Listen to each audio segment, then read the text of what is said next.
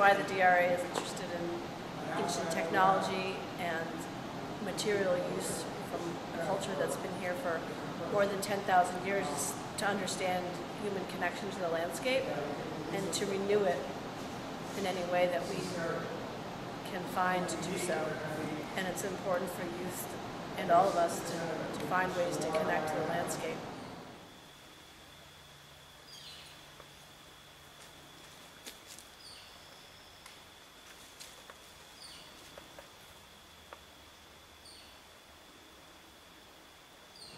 I got involved in this project through David Moses Bridges, who's had a pretty long-term association with the Damariscotta River Association. Um, and uh, he's done a number of projects with them. We had also talked about this canoe project since, well, that time and, and before, so this has been a long time uh, being planned. And um, unfortunately, uh, David passed away last uh, January um, from cancer, and you know, it's, it's a sad occasion, but he did want us to keep keep going with this project without him if it came to that, and so that's what we're doing. Bark is just unrolled flat on the building bed. Then the gunnel frame is laid on that. Um, holes have been drilled previously for the stakes around the gunnel frame, and then the stakes are put into those holes, and that's what holds the sides up. But you have to use heat as you bend the bark to allow it to fold like that. So there's a lot of different parts. It's kind of a, a, a planning process. You have to plan way ahead with each step, kind of like a chess game, really. You plan way in advance. And hopefully, if it all works out, you know, things work out the way you had planned. But there's, there's some parts of it that, even with all the planning, it just seems like something, that, something magical about it. That's, that's uh, beyond what any human could really imagine because the, the materials are so beautiful. This is summer bark that's, that's peeled during the month of July. Um, we also use what's called winter bark, which is peeled in early spring, generally in, in uh, early May. And uh, that comes off with a, a, brown layer, so it's, um, it, it, actually is harder to peel at that time, stuck tight to the tree. But that brown layer can be scraped into with a knife and you can etch designs into it by exposing the, the light color underneath. Uh, it's the primary tool for canoe building, birch bark canoe building.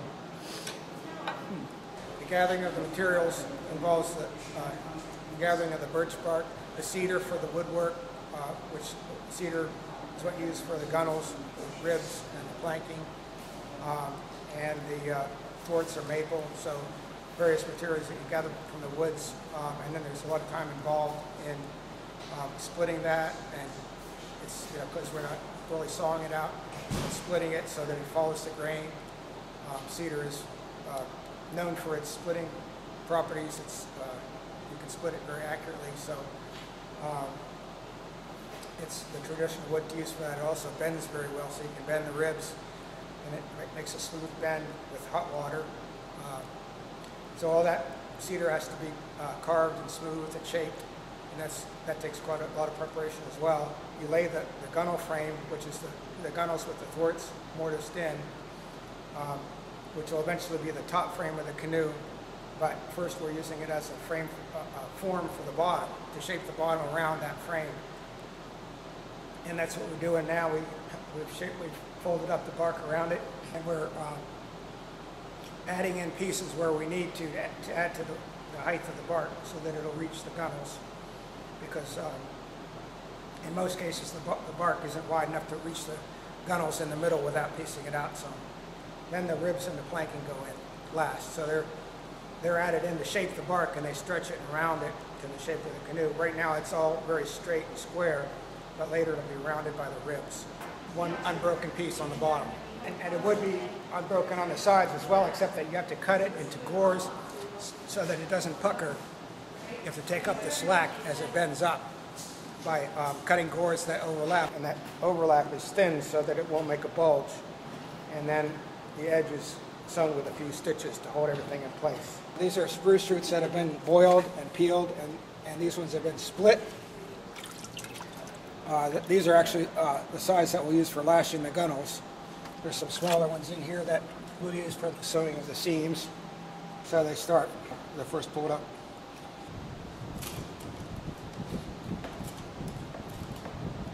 These little sticks are for to determine the shear of the boat. So you can see this stick, it, the bark comes up further than this stick, so we're gonna have to trim some of this bark down. Um, so basically, this is to show where the gunnels are gonna go, where everything's gonna line up, and that's where, not the water line, but the basically the edges of the boat will be. We're making side panels. These are the pieces that are added in for the width on the sides and sewn in place.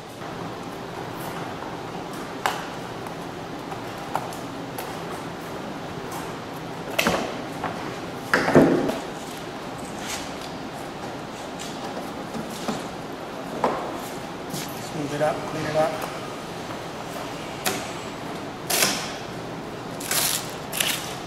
This part will be added on, yeah. and It will be decorated, but primarily it's to get height, to get more width on the sides. Mm-hmm. So we're just feathering the edges to reduce weight and reduce bulkiness and overlap.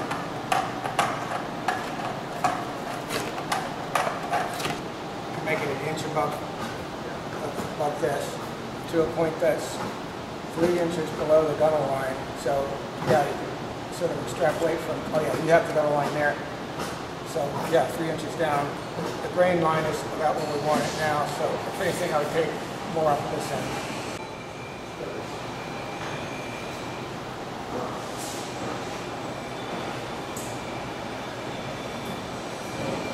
These are the battens for the, um, the stitch, the sewing that we're gonna do. These are the outlays in here.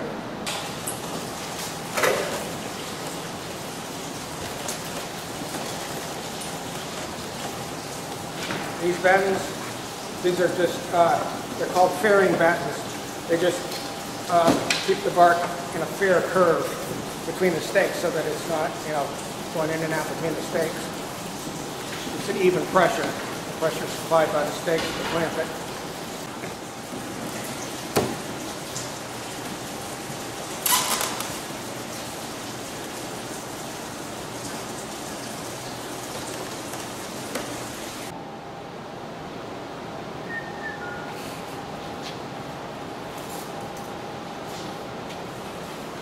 Okay, we're just gonna go from here.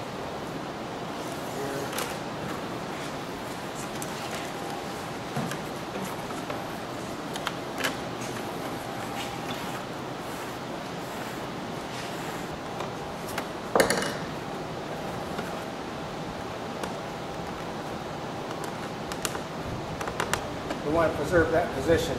If you put your all holes right next to the batten, you can gradually shove it up over the course of your seam, and, and that's what we don't want to happen. Or allow enough room so that th- there's a little bit of bark showing above the batten, just because that way the batten won't, you know, drift up and lose its uh, function.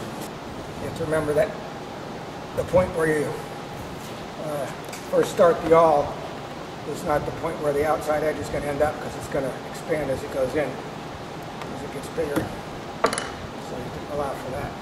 As we sew along, when we come to a set of pegs, just plan your stitches so that the, the- your next, your stitch there will actually use those same holes. Space it so that it comes out right.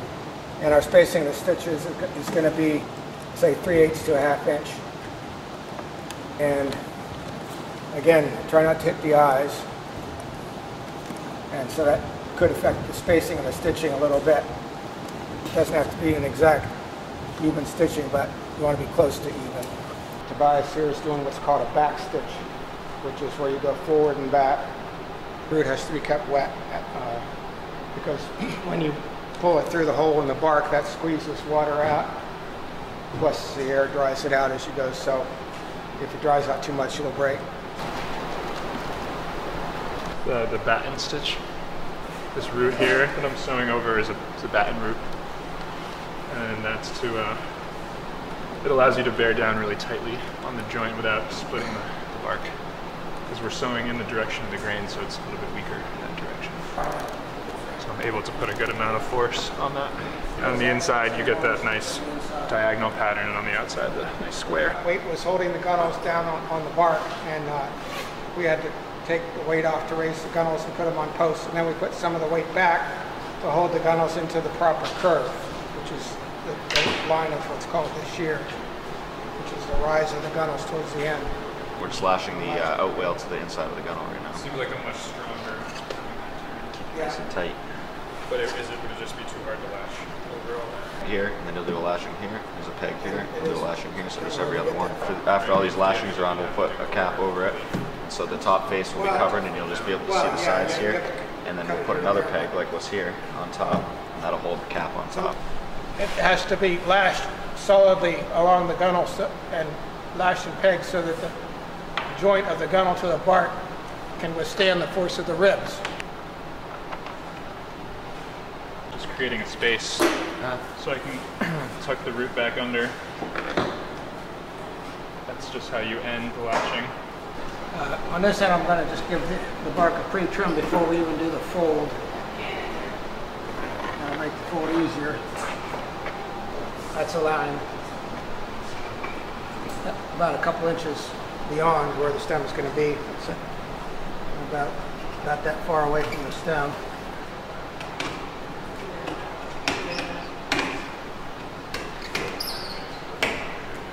And clamp it Clamp it. to hold it steady so that Okay. that things don't shift around. Yep. And also the stem piece itself has to be held steady in the middle. A chip knife like this in a V. Okay. Just go real slow and don't uh, cut down into the, the cloth. Right. So all this is coming off, right? Yep, All of that. Yeah. Yeah. Right down into there. Okay. yep. And get it to where it's pretty solid against the um, stem piece. So, So the V should be up in here. Yeah. Somewhere. see what, yeah, see what works for you.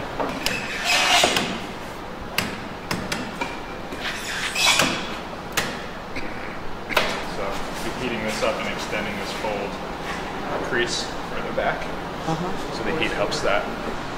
This is a plumb line. We've leveled the horses, so we're trying to get the ends straight. Now that line was established by, when the canoe was right side up, dropping a plumb line from the, the notch where the end come together to the bottom and marking it on the inside of the bottom. And then that mark was transferred to the outside, uh, a reference point for where the uh, stem pieces go to, and they'll, they'll go about a half inch in from that.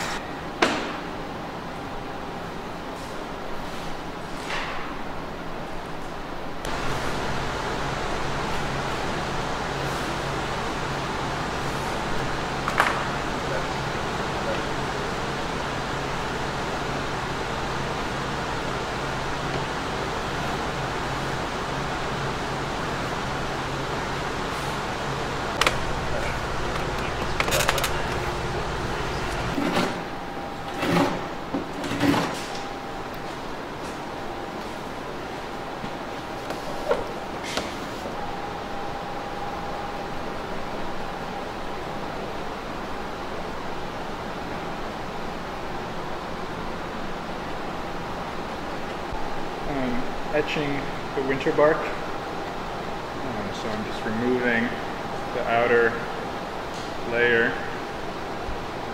um, that that you get when you harvest winter bark.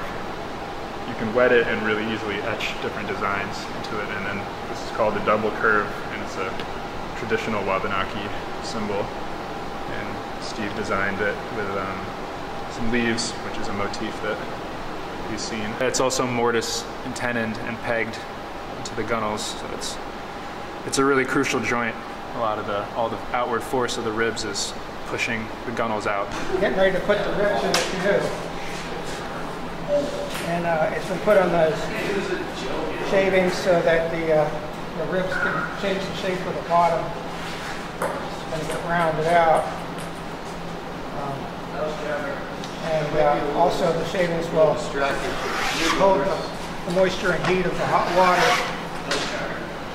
And uh, it down around the bottom of the canoe. Those temporary cross pieces on to uh, support the gunnels from the force of the ribs as they go in, so that they don't change the, the shape of the gunnels or cause them to twist. And then we'll take them off after the ribs are in before the caps go on. The center, not like these are wide piece because of the curve in the end. We bent them on the first day. They were made and soaked, uh, soaked for a week before the first day here. Temporary pieces of planking. These are uh, sticks that are used to uh, spread the sides of the ribs. And they need to put in order so we can find the ones we need. The bark is dried. It's dried in the shape of, of uh, a square box, and we want it to be able to change shape to a rounded shape of the ribs. So we just want to keep mopping up wherever it spills through.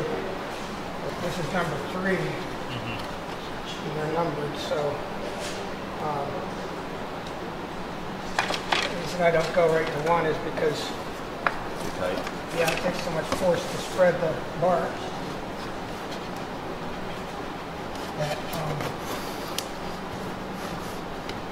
it'll probably break, break the rib. If the bark is thick, you might break it anyway, but um, this way you're trying to spread the sides out gradually.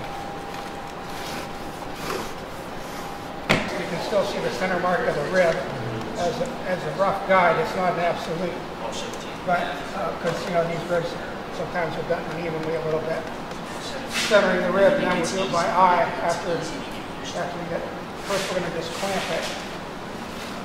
I, I don't think sixteen is too much. Our first, I told you, the first one, that's what we need to do, seventeen instead.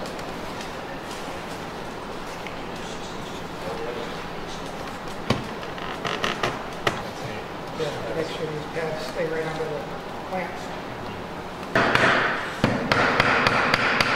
When you first put them in the clamps, you just want them to be vertical. Generally speaking, the first, uh, with the first round of ribs, which is every other rib, odd numbered ribs is what we put in first, about a quarter inch above the point where they contact the inwales when they're driven down between the clamps. The best way to cut that is across with a crooked knife, you know, just above your thumb. Use your thumb as a pry thumb, but as a full thumb, but of course keep it below the of cut, and then cut off the corners the same way. Now, what you want to be most careful of when you're putting in a rib is that it doesn't snap back once it's partially under the under the bevel, mm-hmm. because it can split or chip off.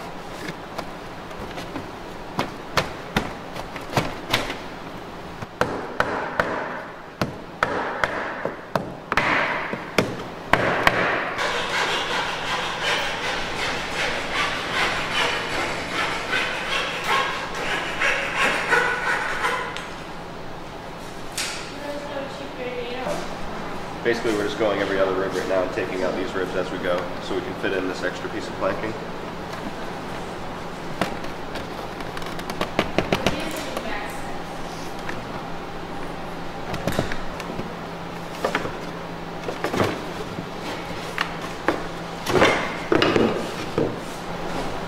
This is a rib spreader.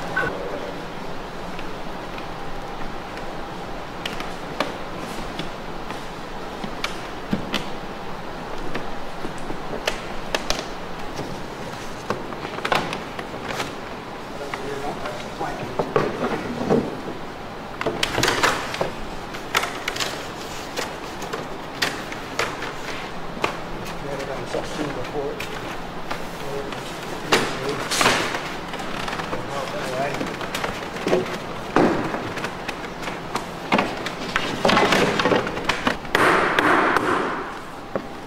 The reason we're putting first just every other rib is so that we can drive the planking down tight between them so that it'll make edge-to-edge contact.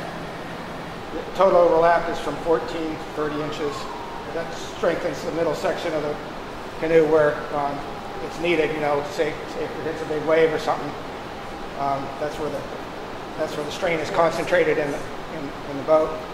And then the fact that, that you have the planking in two lengths potentially could be a weak point if you don't allow plenty of overlap. We're putting the cap rails on the gunnels. They're just pegged on with wooden pegs.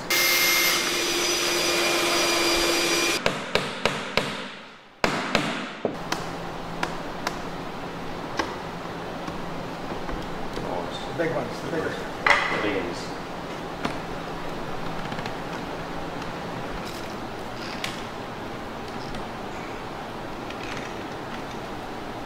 go all the way under the outwale. You want these strips on the side to be just wide enough to catch the edge of the cap. And then the string can go back on. It's winter bark, so we can decorate those. They're just clamped under the caps and the outwales to put flashings through it, hold everything together. I'm making a couple of temporary lashings.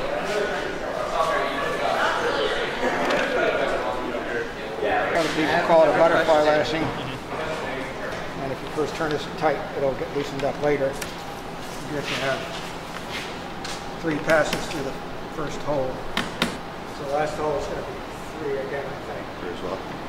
temporary ones in there now that are just used as the template to make these. These are going to be bent with hot water. These are cedar. We added on the, the caps, the gunnel caps, uh, to cover the lashings and protect them. And they're just pegged on. Uh, they were just soaked uh, so that they would take the bend easily. Piece of bark that goes over the ends under the caps and outwales and then gets lashed here and here. This is a temporary lashing that'll be taken out when these headboards go in.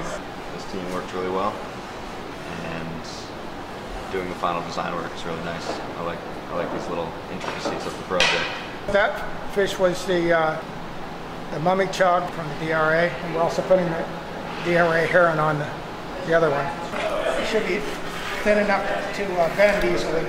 These are going to be bent, hopefully by the end of the day, using hot water. Um, but the reason we're carving them down in the middle is because we want to leave the ends a little bit thicker where the um, the notches at this end and the tenon is at this end, those are the places where it's likely to split. So we want to keep those a little bit thicker to make them stronger. The bottom of, of these big ones fit in, fit, has a notch that fits into the notch in the stem piece. And then the top, there's a tenon that fits up between the end wells after this temporary lashing is taken out and then a permanent one is held, is put back in in front of it. Uh, we're making one of the inside headboards. So there's two headboards that go on each end of the boat. Uh, this is the inside headboard. Since there's no ribs up in that part of the boat, it helps um, keep the, you know, the natural curve of the boat going. It's pine rosin mixed with beeswax and lard.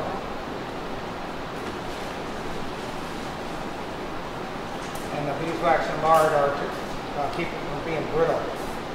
But pine rosin is the main ingredient.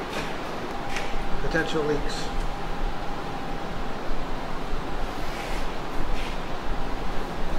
If we don't find them now, we'll find them later, but better find them now.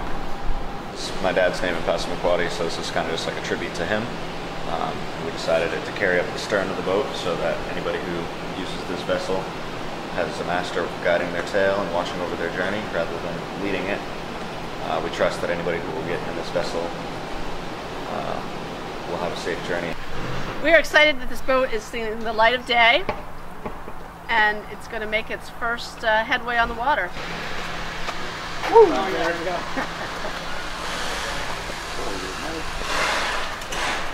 On behalf of the family and the Passamaquoddy people, we embrace each and every one of you. And what a wonderful opportunity for us to be able to experience and to be able to continue on a tradition that we've all shared. Wuliwin. Thank you. The quote